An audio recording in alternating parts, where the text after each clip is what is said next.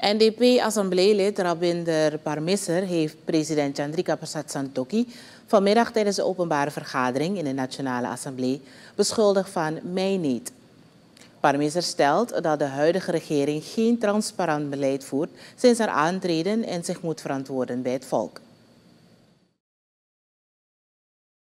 Voorzitter, ik vraag u bijzonder aandacht, want volgens mij pleegt de president hier mijn eet, voorzitter. Vele corruptieschandalen spreken boekdelen. Ik hoor nog weer galmen in de zaal. Corruptie faciliterend beleid. Corruptie faciliterend beleid. Ik hoor dat nog weer galmen. Willekeur bij onderzoek en vervolging.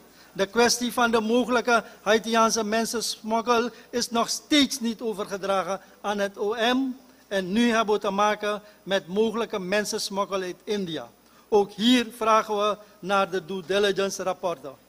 Informatie bereikt ons dat deze mensen uit India niet bekend zijn in de filmindustrie in India.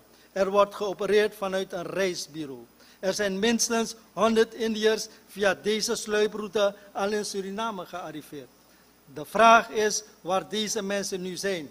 Suriname is thans ook in de schijnwerpers geplaatst als het gaat om mensensmokkel. Over de lastenverzwarende maatregelen, etc. heb ik gehad. Veel misstanden, voorzitter. En dat is maar een greep. Parmisser stelt verder dat het staatshoofd vooral moet optreden tegen ministers die de staat benadelen door hoge telefoonkosten te maken zonder zich druk te maken over de betalingen. VHP-parlementariër Mahinder Yogi onderbrak Parmisser en stelde dat hij onterechte opmerkingen maakt in de richting van de huidige regering wanneer het gaat om een slecht COVID-19-beleid. Ten aanzien van de beschuldiging over mij in de richting van de president had Yogi geen commentaar.